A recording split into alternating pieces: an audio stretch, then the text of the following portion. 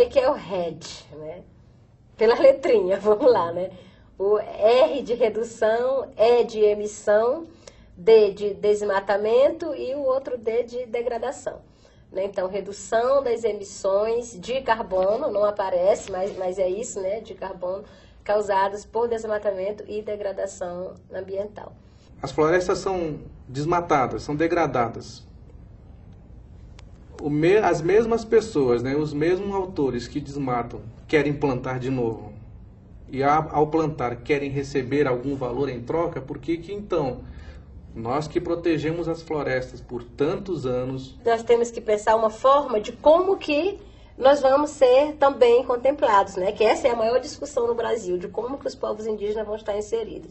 Então, os próprios estudiosos da área começou a pensar numa forma e acrescentou lá um, mais, né, que chama Red Plus.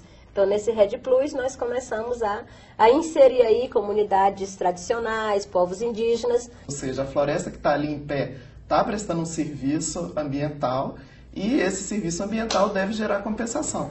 Aí é que se incluem as terras indígenas, esses povos que há anos vêm tradicionalmente conservando suas terras, têm que receber algum tipo de benefício por isso. Quando se escuta falar de RED, pode-se estar falando de diferentes iniciativas. Oficialmente, RED+, é um conjunto de atividades definidas na Convenção Global de Mudança do Clima para a redução do desmatamento com benefícios para o clima global. No Brasil, há iniciativas oficiais em construção, como a criação da Estratégia Nacional de Rede, o projeto de lei federal e as legislações estaduais, sendo que essas possibilidades ainda estão em discussão. Ao mesmo tempo, temos já consolidados a política de mudança do clima e os planos de prevenção e controle do desmatamento. No entanto, ao ouvir falar de RED, podemos também estar falando em iniciativas não oficiais, a exemplo do mercado voluntário, como os contratos de compra e venda de créditos de carbono que têm chegado às terras indígenas. Então, para o governo brasileiro, o que interessa dessa história do RED é que a gente tenha o Brasil sem desmatamento ilegal, por exemplo que a gente tenha as terras indígenas como um todo conservadas. Essa redução de emissões, ela tem que acontecer numa coisa global, tem que acontecer num nível macro.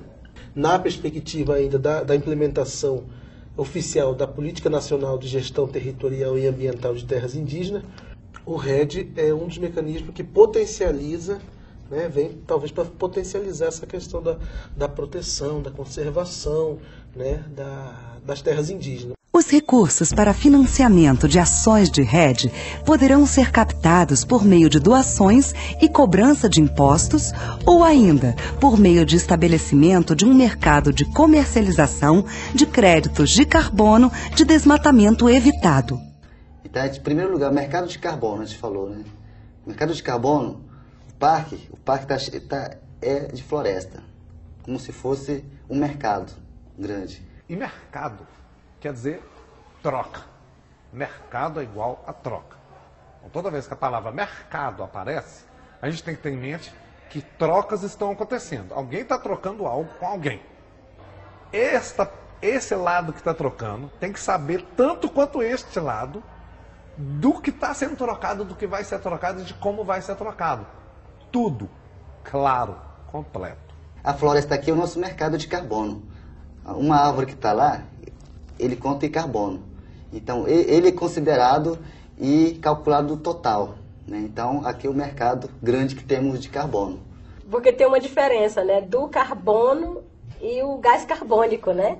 Então, quando está lá na, na árvore, né? A gente chama o carbono. Aí diz, ah, vai vender o carbono tal. Muita gente pensa, ah, nós vamos cortar a árvore e tirar o carbono, né? Então, não é, quando você corta a árvore, aí ele já não é mais carbono, né? Ele passa a ser o gás carbônico, porque ele já se transforma num desses gases que é um que são vários, né? Mas esse é um dos gases de efeito estufa que a gente chama, né?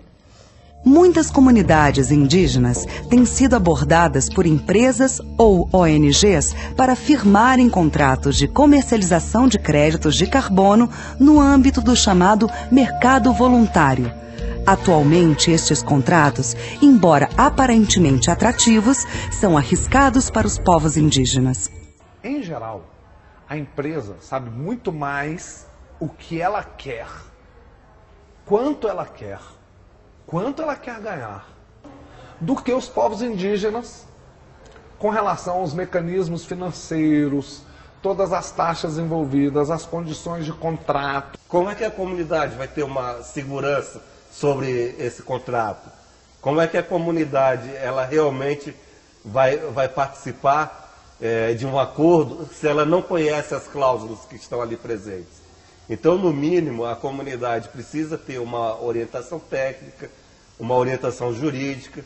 Isso é um tema novo, inclusive para a gente, para os indígenas, é um, é um tema muito novo e nós precisamos de participar cada vez mais para é, ter um conhecimento mais profundo sobre o RED e poder é, ter o benefício também, ser beneficiado também.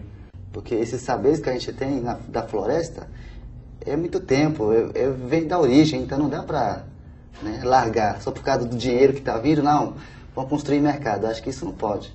Né? Somos, a cultura é associada com a natureza, então é, é, somos, dependemos muito da floresta. Se não tem floresta, não tem cultura. Indígena é fazer o debate de qual é a política, qual é o projeto.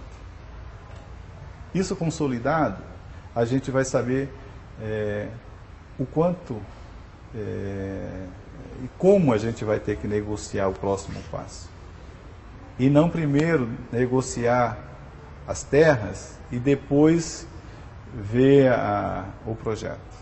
Para nós, na nossa linguagem, a nossa maneira de entender né, o mundo, o rio tem que estar tá vivo, tem que estar tá limpo, tem que estar tá bem. As florestas têm que estar bem. Né? Todas aquelas plantas, os seres dali têm que estar bem, porque aquilo é que nos interessa. Será que todo mundo está preocupado com isso? Rede existirá? Ou a proteção a longo prazo dessas florestas e territórios indígenas existirá se os índios quiserem que isso exista, e se eles estiverem organizados para poder garantir isso? nós já temos a gestão, tradicionalmente, sabemos cuidar da floresta, como conservar. Então isso nós temos que implementar nas ações do RED. Né? Ele não pode exigir a gente fazer do jeito que a RED quer. Nós temos o conhecimento, então nós temos que jogar o conhecimento dentro da, da lei da RED.